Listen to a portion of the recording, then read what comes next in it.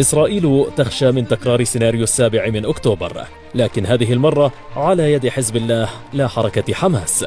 هذا ما أشارت إليه صحيفة واشنطن بوست التي نقلت عن وحدة عسكرية إسرائيلية تعرف باسم المراقبات الميدانيات. مجندات تلك الوحدة التي كانت ترصد تحركات عناصر حماس ومن بعدها حزب الله على الأرض قلنا إنهن راقبن حزب الله لشهور ورفعن تقارير بكل تحركات أعضاء الحزب قبل أن تبدأ تل أبيب بتوسعها بحملتها العسكرية في لبنان.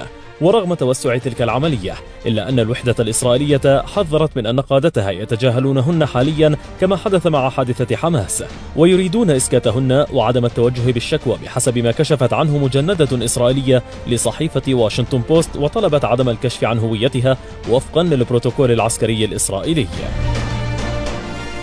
قادة الجيش الإسرائيلي يتجاهلون إنذارات المراقبات الميدانيات كما فعلوا قبيل السابع من أكتوبر.